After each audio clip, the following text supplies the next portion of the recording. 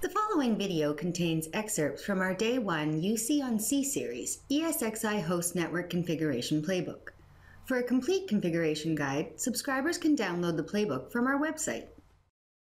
Welcome to our drawing, Day 1 C series server deployment for Cisco collaboration, ESXi Host Network Configuration using Console.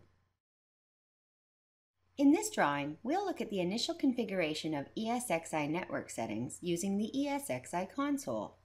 We can't access the server using the vSphere GUI until this is done. Here are the Day 1 tasks for Cisco Collab on C-Series. On Day 1, we deploy the C-Series server itself. On Day 1, we also deploy the hypervisor, our ESXi host. Only a subset of the tasks are required for BE deployment. We'll run through everything for UC on C-Series. Our ESXi host network configuration via console tasks are Access the VMware console, Change the ESXi host password, Configure the vSwitch 0 uplinks, Configure the ESXi host IP address, Configure DNS, hostname, and DNS suffixes, download and install the vSphere client, and access the vSphere GUI.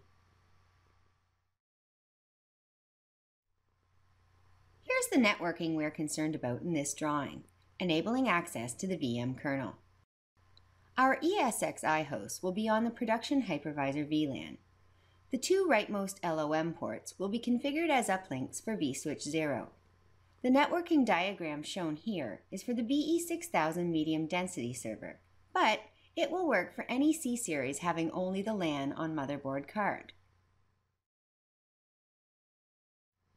Click on Launch KVM Console or the icon in the toolbar to launch a KVM session.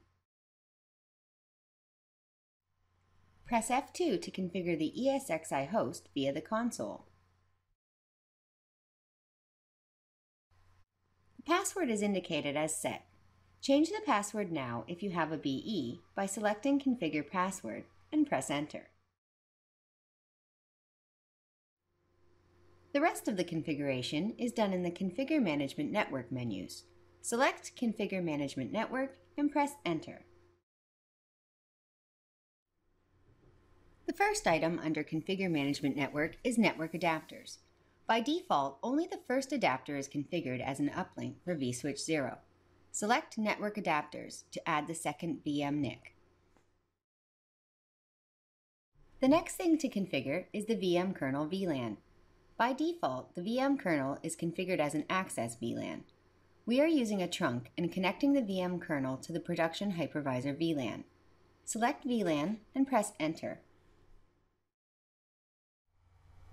The next thing to configure is the IP address and gateway of the VM kernel. Select IP configuration and press Enter. Select Set Static IP Address in Network Configurations and press the spacebar. Enter the IP address, subnet mask, and default gateway and press Enter. Double-click on the vSphere client shortcut. Enter the IP address of your ESXi host and use root and your password to log in. Click Ignore to any security warning. You can now access the vSphere GUI using the vSphere client. Now you are ready to continue the ESXi host configuration using the vSphere client. You can hit Ctrl, Shift, H to get this view. Now we have an initial network configuration and can access the ESXi host using the vSphere GUI. We can't install our Cisco collaboration apps until the ESXi host is fully configured using the vSphere client. Do this next. Coming up next, Day 1, Cisco collaboration on C-Series server deployment, ESXi host configuration using vSphere GUI. Thanks for watching!